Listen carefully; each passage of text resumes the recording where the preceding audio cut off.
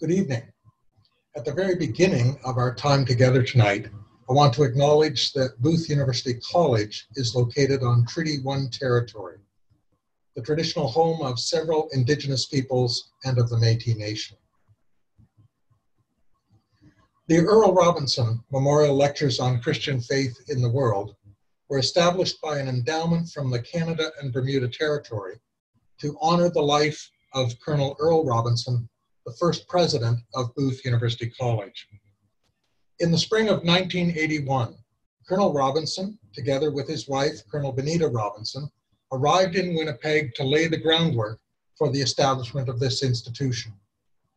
Colonel Robinson's skill, wisdom, and determination placed what was then known as Catherine Booth Bible College on a firm foundation and an upward trajectory. After 12 years leading the institution, Colonel Robinson moved to serve with distinction in several other appointments, including significant international Salvation Army assignments. Throughout his life, Colonel Earl Robinson devoted himself to the service of God and the Salvation Army. Knowledge, the dissemination of knowledge, and education in the Christian faith were constant priorities for Earl Robinson. So it's appropriate that this lecture series should be offered under his name and in his memory. Just a couple of notes before we actually begin the presentation tonight. First of all, during the presentation, you will be able to submit questions through the Q&A function on this webinar. And at the conclusion of the lecture, some of those questions will be answered. Secondly, tonight's webinar is being recorded and in due course will be made available on the Booth University College YouTube channel.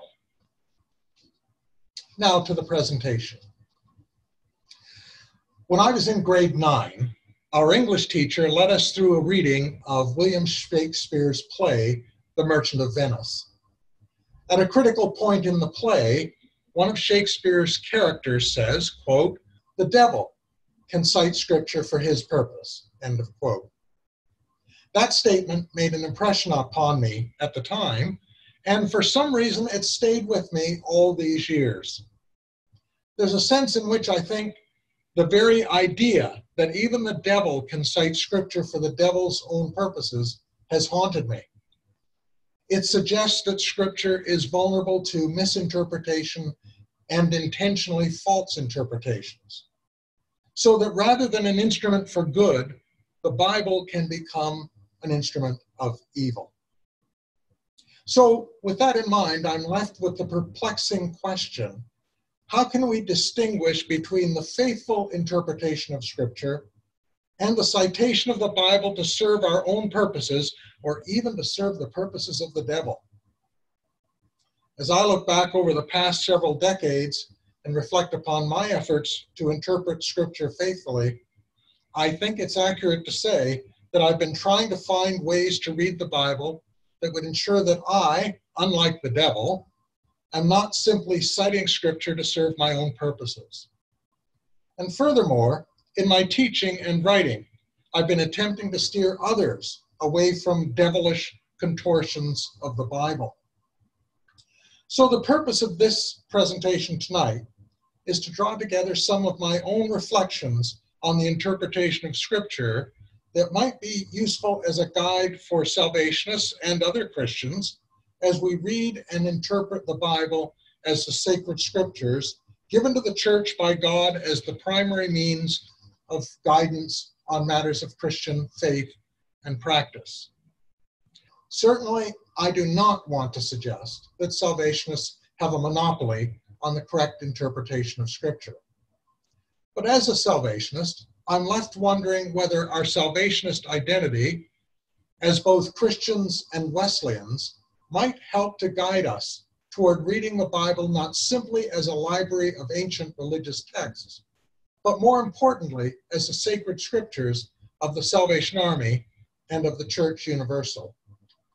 Is it possible then to identify some starting points or basic principles that might help us approach and interpret the Bible faithfully. This evening, I'm going to suggest eight affirmations that can guide our interpretation of the Bible. My first point of reference this evening is the wording of our first doctrine. This doctrinal statement suggests the first three affirmations that I want to articulate in this presentation. To remind us, our first statement of doctrine reads We believe that the scriptures of the Old and New Testaments were given by inspiration of God, and that they only constitute the divine rule of faith and practice. From this statement of doctrine, as I mentioned, three different principles of interpretation arise. And the first affirmation I want us to pay attention to is the affirmation that we believe there is one Bible. This first principle of interpretation for salvationists that emerges from our doctrine is simply that the whole Bible, the Old and Testament and the New Testament together, comprise our Christian scriptures. As a result, we do not privilege one testament over the other. We reject any latent Marcionism that would relegate the Old Testament to the status of second class scripture. We do not accept the false caricatures of the Old Testament as law and the New Testament as grace, suggesting an inferiority of the Old Testament, or indeed its supersession by the New Testament. In our interpretation of Scripture, we read the two testaments together, hearing the witness of each to the one God who is revealed in Jesus Christ and who continues to be present among us through the Holy Spirit. Further, I would suggest that we reject any so called canon within the canon that would value some writings more than others. Thus, for example, we don't give special status to Paul's letters with their teaching of justification by faith over against, for example, the Gospel of Matthew or the letter of James or even the Johannine literature. Rather than the easy road of simply ignoring certain parts of Scripture that don't meet our personal standards, we take the hard road of maintaining the wholeness of the Christian canon. We don't succumb to the temptation to shorten the canon to a few favorite books, a few favorite writers, or even a few favorite texts. Now, I have to admit that the Two Testament canon presents challenges to the church as it seeks to articulate the relationship between the Old Testament and the New Testament. As it turns out, these challenges are not new. Within the first centuries of the church, Christians sensed some unease with the Old Testament. However, one helpful recent approach to maintaining the close relationship between the Old Testament and the New Testament has been the use of what is called a missional hermeneutic that interprets the two testaments as united, primarily in their focus on the one unified mission of God to save the world. For advocates of this approach, from the beginning of the Old Testament and the first chapters of the book of Genesis to the very end of the Christian canon, with the vision of the creation of a new heaven and a new earth in Revelation 21, the entire Christian canon is unified by this one mission of God to rescue, to restore, and to redeem the world. In the unfolding of this mission, the story would be incomplete and perhaps even unintelligible without both testaments. And I would also add that this emphasis on the mission of God in the world is highly congruent with salvationist emphasis on mission. So, the first basic point that I want to make this morning, this evening, is that our first doctrine teaches us that we believe that there is one whole Bible in its entirety. The second point this evening that I want to make, and the second affirmation I want us to consider, is that we must seek to hear the full voice of Scripture. The goal of biblical interpretation should be to hear what I call the full voice of Scripture. For the past 200 years, historical critical biblical scholarship has been successful in drawing our attention to the many individual voices that speak in the Bible. We're able to hear these voices more clearly than ever before. We've learned from historical critical study that the Bible includes many voices that sometimes, on first reading, may appear to be in tension with one another or even to contradict one another. But rather than seeking to silence these disparate voices through neglect or through a deliberate decision, it seems to me that the preferred response should be to listen attentively to their distinctive individual contributions to the canon, and also to listen to these texts within the context of the whole canon of Scripture. If we do this, the apparent contradictions that are identified by biblical scholars often present alternative perspectives, each of which expresses truth in part, and none of which expresses truth in its entirety. And so we come closer to the truth, closer to hearing what God would teach us, when we're able to listen to all the voices of Scripture, not just those we prefer, and not just those that agree with our personal opinions and viewpoints. An analogy that I've found helpful is relevant here, and perhaps relevant for the Salvation Army. In a brass band, there is a range of individual instruments that play many different musical parts, all as a component of one single musical composition. Some of these instruments carry the melody much of the time. Others provide the harmony, and still others provide depth to the sound of the band. Now, in rehearsals, it may be common for the bandmaster to have individual sections of the band rehearse their part without the rest of the band. So, when the second trombones, for example, are asked to play their part on their own, it's often difficult to hear or even imagine what the main melody would be. When heard on its own, it may be difficult to imagine the contribution that a relatively minor part plays within the overall composition. But in a performance, when the entire band begins to play a composition with the melody and the harmony and the various relatively minor parts that provide texture to the music, when the entire band plays in a performance, we hear the full voice of the band and the full voice of the composer. Few of us would wish to listen to a selection in which only the melodies played. It could seem rather tinny and lack depth of sound. And I dare say that even fewer of us would want to listen to a selection in which the only part we hear is that played by the second trombones, with all apologies to everyone who plays second trombone, or the second horns, or the second baritones. We would recognize that this too produces an impoverished experience, and that we're not, in fact, hearing the band selection in its fullness. In a similar way, not all parts of Scripture play the same role within the biblical canon. Some books and passages carry the melody of the Bible much of the time, and others rarely even hint at it.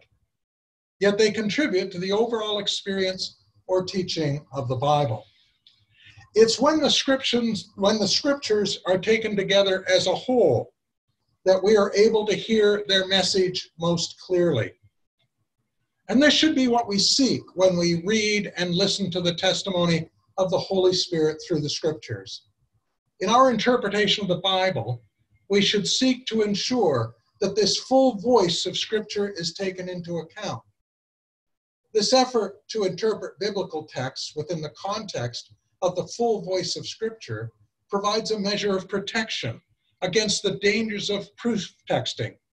Or as Shakespeare would say it, it provides a measure of protection against allowing the devil to cite scripture for his own purposes. As we turn to the third affirmation that arises from our first doctrine, we suggest that we believe that scripture is the divine rule of Christian faith and practice. We need to attend carefully to the actual claim that our first doctrine makes about the scope of the authority of the Bible as sacred scripture. It's described as, quote, the divine rule of Christian faith and practice, end of quote. What this suggests is that the scriptures are authoritative. What this suggests is that the scriptures are authoritative for the church on matters of faith and practice. As the frequently cited text in 2 Timothy chapter 3 asserts, all scripture is inspired by God and is useful for teaching, for reproof, for correction, and for training in righteousness, so that everyone who belongs to God may be proficient, equipped for every good work. The expansion of claims for the authority of the Bible beyond matters of Christian faith and practice, for example, to matters of history and science, while it may be well intentioned, it is not consistent with our doctrine and is not consistent with our own Wesleyan heritage. In our study of Scripture, we should focus on matters of Christian faith and practice. Wesley himself understood the purpose of the Scriptures to be centered upon right doctrine and right living. Our first doctrine takes this approach to the Scriptures. As Salvationists, we study the Bible to learn what we believe and how we should live. Now, this leads us to our fourth affirmation, which is that the Bible is inspired by God and yet written by human beings. To the first three principles of interpretation that arise from our doctrine, I want to add the following Salvationist interpretation of the Bible should be shaped by the conviction that the human authors of the individual writings were guided and directed by God, and that nevertheless they maintained, they remained fully embodied human beings. The scriptures, in other words, were inspired by God and at the same time were the product of human beings. Now, is there a way that we can understand this claim? I want to suggest that an analogy between the nature of the Bible as both the Word of God and simultaneously the Word of humans, an analogy using that affirmation and putting it alongside what we affirm about Jesus may be helpful here. As the Salvation Army's fourth doctrine states, quote, we believe that in the person of Jesus Christ, the divine and human natures are united so that he is truly and properly God and truly and properly man. End of quote. I want to use this statement to help us understand the nature of Scripture. So I would paraphrase this doctrine as follows We believe that in the Scriptures of the Old Testament and the New Testament, the divine and human natures are united so that the scriptures are truly and properly divine, that is, inspired by God, and truly and properly human, that is, written by human beings. This suggests that in the Bible, the divine and human nat- natures are united so closely that they cannot be divided without doing irreparable damage to the scriptures as a whole and to our ability to receive the Bible as sacred scripture. Amplifying the divine inspiration of the scriptures to such an extent that we compromise the full humanity of the Bible as the product of human authors endangers our reading of scripture. And similarly, amplifying the full humanity of the Bible as the product of historically embedded humans to the point that we diminish its divine inspiration endangers our reception of the Bible as the scriptures of the church. It seems to me that for the proper interpretation of the Bible, it's imperative that we acknowledge, on the one hand, the fullness of the inspiration of the Bible by God, and on the other hand, the fullness of its origin as the product of human authors. These two assertions must be held together because we believe that in the scriptures, the Word of God has been incarnated in the Word of human beings. Now, if we were to accept this principle, it seems to me that two other principles of interpretation arise. First, the reading of the scriptures as fully human mandates that we use all of the tools of scholarship available to us to understand and interpret the biblical text as products of human authors.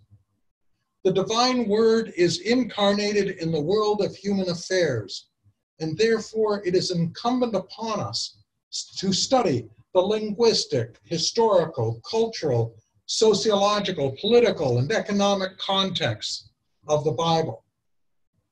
The historical critical method, broadly defined, with all of its strengths and its limitations, is warranted by the human nature of the biblical texts, and it supports our reading of the Bible as the product of human authors.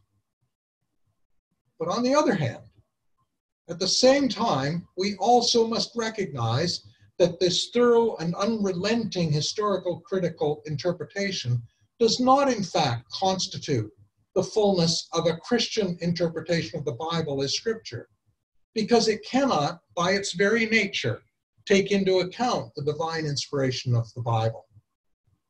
So while it's imperative that as that we employ the full range of methods for uncovering the full humanity of the biblical texts, it is also imperative that we receive the text as the inspired Word of God. Reading the Bible prayerfully, inviting the Holy Spirit to guide the process, reading the scriptures through the tradition of its Christian interpreters, and using the methods of theological interpretation generally all contribute to the interpretation of the Bible as fully divine. Ultimately, as Christian interpreters, we must submit ourselves to the witness of these texts, to the one who inspired them and to who continues to inspire them. Neglecting or compromising either the divine inspiration of Scripture or its origin as the product of human authors leads to the truncation and distortion of the witness of the Bible as sacred scripture. An additional implication of the confession that the scriptures are divine is that they are always correcting us. That is, no one's individual interpretation is beyond correction by the Holy Spirit through the scriptures. Humility before the Word of God is a key attribute of any interpreter of the Bible. Such humility must include openness to correction. And finally, the inspiration of the scriptures by God is not only an event in the past, as though the divine inspiration of the Bible took place only at the time of its writing. Rather, we affirm that the Holy Spirit continues to inspire the scriptures. And as we seek the guidance of the Spirit, our reading of Scripture is brought to life, and the Holy Spirit speaks once again to us. The fifth affirmation that I want to suggest to us tonight for consideration is that we must learn to read the Scriptures in what John Wesley called in conference. One of the key insights of John Wesley regarding the interpretation of the Bible was that such interpretation is best undertaken in conference. That is, in the company of and in dialogue with other Christians. Wesley believed fervently that in open and thorough dialogue with others, in an intentional Christian community, the Holy Spirit has great scope to guide our interpretation in the right direction and to correct aberrant interpretations. Solitary interpretation of the Bible often leads to idiosyncratic results. Now, as Salvationists, we are not skilled at reading and interpreting Scripture in conference, that is, with other Salvationists or with other Christians, we don't often come together with a focus on the dynamic interactions around Scripture that would cultivate common interpretations and identity. This represents a significant loss for the Army for at least two reasons. First, our failure to interpret Scripture in conference prevents the cultivation of a broadly based, scripturally grounded identity, mission, and perspective. And second, and perhaps even more importantly, in a time when biblical literacy is in rapid decline, our, our failure to read the scriptures in conference deprives us of an invaluable opportunity to ground salvationists in scripture through reading it together. The result is that often, not only do salvationists not understand what we believe, but we also don't know why we even believe it in the first place. The sixth affirmation that I want to suggest for consideration this evening is that we believe that, the, that salvation is the focus of Scripture. John Wesley maintained a single minded focus in his use and interpretation of the Scriptures. For Wesley, the hermeneutical key to the Bible was the way of salvation. That is, the Scriptures describe the human condition of being under the power and guilt of sin.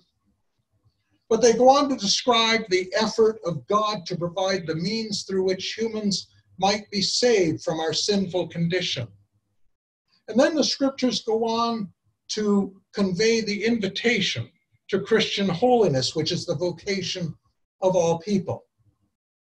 In its broadest strokes, Wesley's interpretation of Scripture was guided by this biblical account of God's unrelenting determination to save humanity and the world.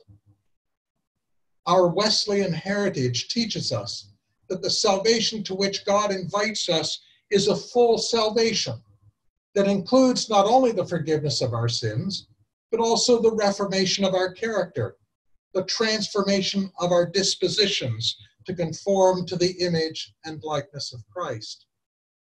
For Wesley, this spans the full horizon of salvation, including prevenient grace, justification, new birth, Christian perfection, and final salvation.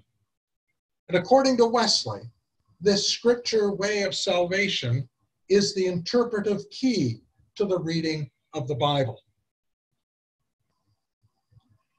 Now, the seventh affirmation that I want to share with you this evening is one that arises particularly out of our salvationist heritage.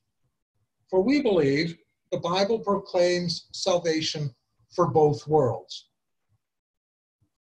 Salvationist interpretation of the scriptures will draw upon the insight of William Booth that God calls us to a vocation of bringing, quote, salvation for both worlds, end of quote. What this means is that we interpret salvation to embrace not only the full salvation of individuals, but also the salvation of this world.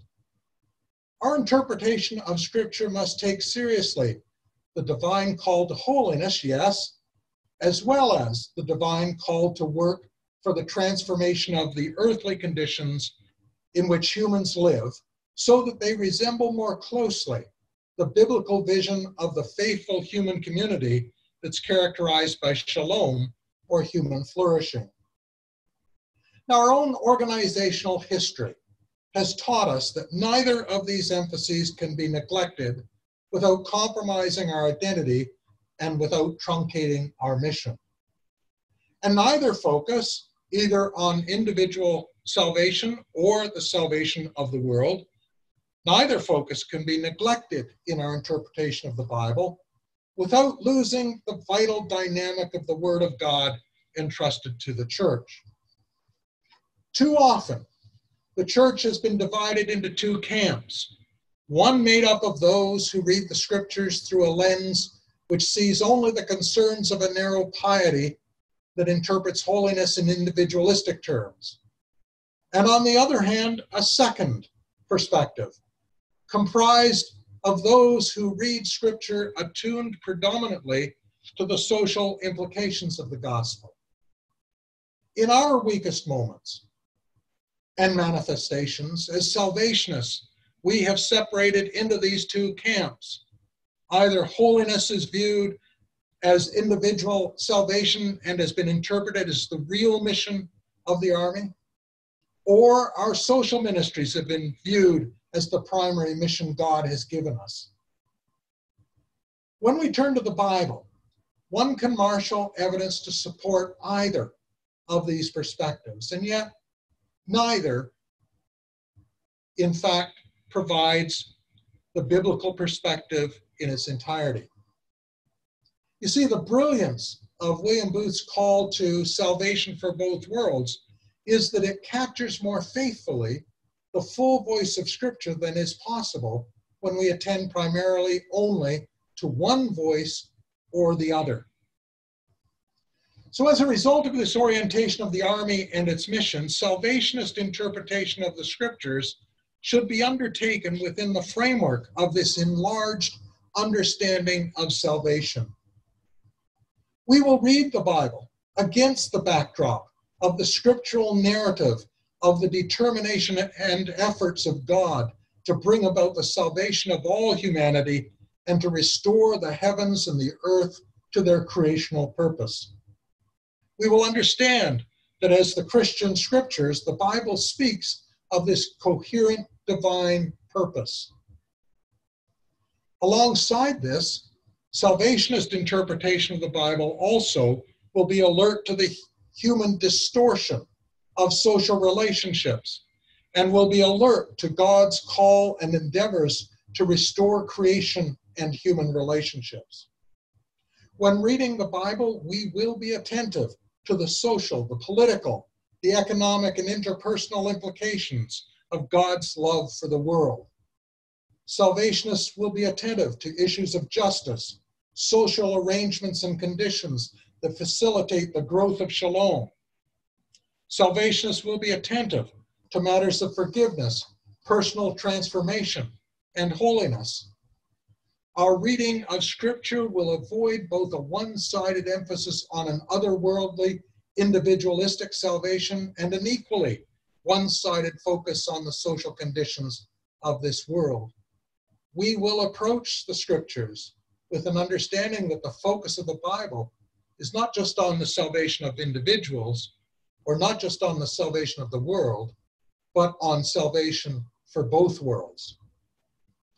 This is important not only because it's grounded in our salvationist heritage, but, but more importantly, because the, the indivisible union of the religious, the spiritual, and the social dimensions of Christian faith is foundational to the biblical narrative itself. Thus, we find that God acted to deliver the Hebrew slaves from the oppressive social and economic policies of Pharaoh, as well as to free them to serve the Lord their God. We acknowledge that the covenant between God and Israel is instituted in the Sinai narratives of the books of Exodus and Deuteronomy, that this covenant structures the Ten Commandments in such a way that the relationship between God and Israel, which is the focus of the first commandments, is joined together with concerns about the quality of Israel's life together as a community in the commandments that follow. And we find further that prophets such as Amos argued that there is a fundamental relationship between the worship of the Lord and the quality of Israel's life as a community. Without justice and righteousness, the worship of Israel became abhorrent to God. For Israel, theology and social ethics are joined together. And when they're divorced, as they were in the time of the 8th century prophets, Israel's entire vocation as the covenant people of the Lord was in jeopardy. And turning to the New Testament, as salvationists, we attend to Matthew's focus on the importance of holy living within the community of the church, such as we find in the Sermon on the Mount in Matthew chapters 5 to 7, But we also paid careful attention to Luke's focus on Jesus' mission to those who are marginalized, which is emphasized especially in Jesus' sermon at Nazareth in Luke chapter 4. The salvationist interpretation of Scripture through the lens of salvation for both worlds acknowledges this indissoluble union within the full canon of Scripture. The union between the salvation of individuals to a vocation of holiness and the salvation of the world, of this world, with all of its wounds and injuries. And then finally, we acknowledge that the culmination of the entire biblical canon is the creation of a new heaven and a new earth as revealed in Revelation 21. As salvationists, we receive this vision of John of a new heaven and a new earth as a call to live leaning forward toward the horizon of the new creation and the kingdom of God. This leads finally to the eighth affirmation that I want to suggest this evening for your consideration. And that is that we believe that love for God and love for our neighbor is our guide for interpretation. This final guide for interpretation of Scripture by salvationists is grounded in the great commandment of Jesus that's summarized as all encompassing love for God and thoroughgoing love for our neighbor. This commandment of Jesus in Matthew 22 echoes commandments from Deuteronomy 6 and Leviticus 19. As a summary of Christian faith and action, this twofold command to love God and to love our neighbor has had a long history in Christianity, including in the teachings of John Wesley. As such, I think it can provide us with a measuring rod for our interpretation of the Bible. As a guide for Christian faith and practice, the purpose of Scripture is to stir Christians toward greater love for God and greater love for our neighbors. And if this is true, then our interpretation and application of Scripture in all of its parts should cultivate in us greater love for God and greater love for our neighbor. I think that this can function as a standard to evaluate the extent to which our interpretation of any passage of Scripture conforms to the inspiration of the Holy Spirit.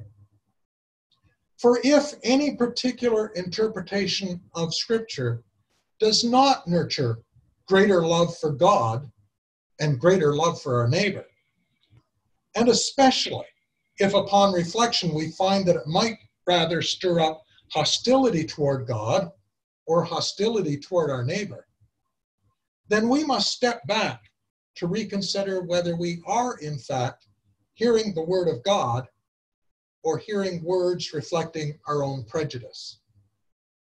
That seems to me to be a vital measuring rod that we can use to evaluate our interpretation of Scripture.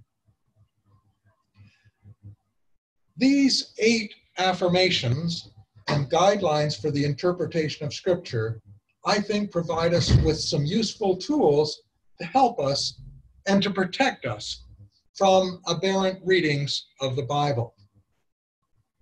Reading the Bible as sacred scripture is one of our primary mandates as Christians and as salvationists, if we in fact believe that it is the only divine rule of Christian faith and practice.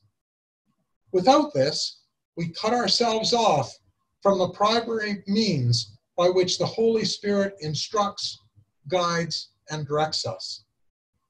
But if Shakespeare was correct, the devil also reads the Bible and knows it well. In fact, I might even suggest that the devil knows the Bible far better than most Salvationists.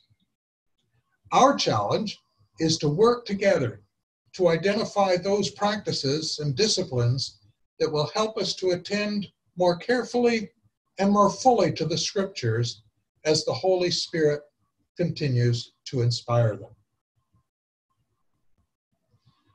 We're now going to take a brief pause to view a message from Booth University College, and when we return, I'll respond to some of the questions that viewers have submitted during this presentation. Not all of us set out to change the world. But for those of us who do, knowing where to begin can be hard. Because the world, though beautiful, is broken in so many ways. Some ways that make it seem like one person can't possibly make a difference, and other ways that are just easier to ignore. But we don't believe in an easy world. We believe in a better world. At Booth University College, change starts on the front lines, where we can make the biggest difference, and where others might be afraid to go. We fight for justice. We bridge divides, and we share ideas. Because as an institution grounded in the Christian faith, we know a better world is possible. And it's within our ability to make it happen. Whether that world is halfway across the globe or right around the corner. We believe in making a difference in more than just our own lives. That the skills to change the world can be taught, fostered, inspired, and strengthened. And that it doesn't take an army to make an impact. But it helps. Whoever you are, whatever you believe, wherever you're going, a better world begins here. Booth University College Education for a Better World. So I steer my way away. I, I say that jokingly, but there's a sense in which I, I also think it's true. Um, I wouldn't advise someone to begin with some of the Old Testament books if they're really wanting to study the Bible um, and, and, advance their study of the Bible initially. Uh, I would steer them away from some of the books I wouldn't read Habakkuk necessarily as the first thing in the Bible. I wouldn't read Nahum uh, as my first choice in the Old Testament, but it's Nahum's like the second trombone part in a band. Uh, apologies once again to the second trombonist. I'm going to get lots of responses to that, I suspect, in the chat. Um, but I think there's a time and a place for each of the books of the Bible. And reading the Old Testament does present unique challenges. So, my encouragement is take up the challenge. Sometimes you need a good guide to help you through that, but also recognize that, that in the Old Testament we find uh, some very, very rich material, and it's, it's important to recognize the diversity of voices that we hear in the Old Testament one of the things I'd say about reading the Bible that's very important is that the Bible reasons, the scriptures reason very differently. We want to logically work out a solution to a problem, whereas the way in which the Bible often works is it prevents, presents rather alternative perspectives. Um, so, are we saved by faith or are we saved by works? Well, actually, if you read even the New Testament, you find texts that will say both things, or one will say this, and one will say that. And often the truth is found in holding both assertions together. So that the more we read of the entire canon of Scripture, the more perspectives we're able to bring together, and I think the closer we come to the truth. So I think I've gone way off the mark on that question, but that's fairly typical. Um, here's another one. How would you suggest that salvationists read and interpret scripture in conference? What are practical ways we could do this? Well, that's a very good question. I think we live in a time, that, a unique moment in time uh, in terms of developing ways to read scripture in conference. And that is precisely in the way that we're doing this tonight. Uh, I think we've got the technology, and one of the side effects of this uh, global pandemic is it's forcing us to do things online. We can bring community together and read in conference together in many different way, ways. We can do it physically by bringing people together simply to talk through biblical texts and to learn together from the biblical text and to focus on the interpretation of the text, but we can also do it virtually. And um, I think that's one of the great revelations that the last seven months have taught us that this is possible. We're doing it with worship now of necessity, but I think we could also do this. And I know there's some, even in our own territory, who are doing Bible study virtually and inviting others to join them. That's a great innovation. And I think that they're intentionally creating opportunities for that um, would be a great boon to reading the scriptures in conference. Um, and we, we should do that more and more. Uh, I think that's worth thinking about and, and certainly would encourage us to explore various ideas. I also think in some of our larger salvationist gatherings, a stronger emphasis on reading scripture together and interpreting scripture together uh, in these larger events would be welcome and would be a great benefit to us organizationally. Another question Are there salvationists living today who I would cite as true biblical scholars? Um, that's a great question. Um, let me say that I don't think a, being a biblical scholar is a matter of academic credentials. I really am not convinced of that. Academic credentials, studying the Bible uh, in an academic setting, in a seminary or college or university, uh, is one step, but that doesn't make you a, a, biblical scholar in, in the sense that I think is intended here. Um, I think that's very much, um, it, it's a larger question. In terms of identifying some, I think there are some Salvationists that I think read the Bible very attentively and very well and interpret it very well. I'm hesitant to name people because I think I'd leave people leave someone out. But yes, I do think there are some um, who are very good at this, very skilled at it, and we need to work as a Salvation Army. We need to work at cultivating that uh, because we do need uh, more technically biblical scholars. Um, and and I think we suffer from a lack of them. Um, we are the poorer because we don't encourage this. Another question, and I'm reading some of these for the first time, so um, here's one. I'll see where it goes. It seems some would interpret your comment as part of the third proposition that the Bible should not be seen as authoritative on other matters, such as history. Uh, some would hear that as saying that the Bible is incorrect in those matters. So the question is, what would you say its lack of authority in those matters, or would you say that its lack of authority in matters such as history disqualifies it from being a reliable source in the study of history or other subjects? I think probably I'd say other subjects such as science. I am always hesitant to suggest that the Bible has inaccuracies. But I will say that I don't think the primary function or purpose of the Bible is to provide historical information or scientific information. The primary purpose, we affirm, of the Bible is to guide us in matters of Christian faith and practice. It may well be that the Bible contains information that can be verified by historians according to the methodologies of historiography uh, and contemporary historiography. That may well be true in some instances, but that is not its primary purpose. And one of the concerns I have is that if we read the Bible with a primary focus on historical matters, then we have to recognize that we're entering into the ballpark of historians and we have to play by their rules. Or if we want to extract from the Bible scientific information, we're playing in the field of scientists and we've got to play by their rules. It seems to me that often those kinds of scientific and historical inquiries can become distractions from what we really believe Scripture's about.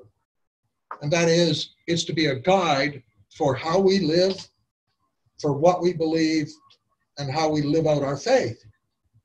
And I'm concerned that sometimes we can focus on relatively minor points when it comes to Christian faith and practice with our focus on history or science, and we miss the larger claims that Scripture makes on our lives. So I would put the emphasis elsewhere, not on inac- so called inaccuracies in the Bible, but rather on focusing on its proper function and purpose in the life of Christians and the life of the Christian community at large. Uh, the next question is Our preaching should reflect both natures of Jesus as fully human and, and, uh, and fully divine. Uh, or potentially, hmm. um, I'm just trying to read this. What are the ramifications of Jesus being fully human and fully divine upon sharing a personal testimony? Or is it only applicable to the nature of the Bible as written by humans and inspired by God? So I think this question is really about our fourth doctrine. And why is it important to affirm that Jesus is both fully divine and fully human? To answer that question, I'm going to go back to the early history of the church and the history of that doctrine. That doctrine really reflects uh, a creed that was developed in the fifth century uh, of the church, the articulation of the full divinity and the full humanity of Jesus brought together in the one, um, one person. Um, what was argued in the early church, which I think is very important, is that the full humanity of Jesus is critical because the part, if there are any parts of our human nature that Jesus didn't take unto himself, those he cannot save. So Jesus did not share something of our human nature, then that's beyond the realm of the salvation he can offer. On the other hand, if Jesus is not fully divine, he simply isn't able to save us. It takes it takes the divine Christ, it takes God to save us. So the full humanity of Jesus is necessary to to save and deliver our full humanity and the divinity of Jesus is essential for salvation itself, because fundamentally human beings cannot save themselves.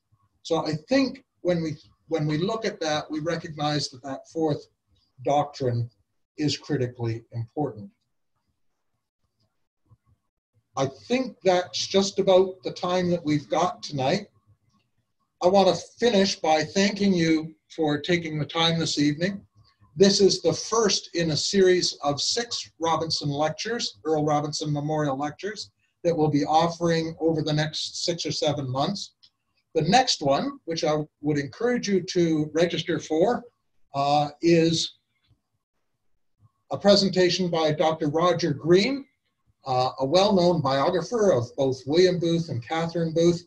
Uh, he is now working on with Major Peter Farthing a biography of Bramwell Booth, and he's been working on this for some time now. And Roger's going to join us and share with us some of his reflections on the writing of a biography of Bramwell Booth. That will take place on Tuesday, October 20th at 7 p.m. Central Time, and I would invite you to join us at that time.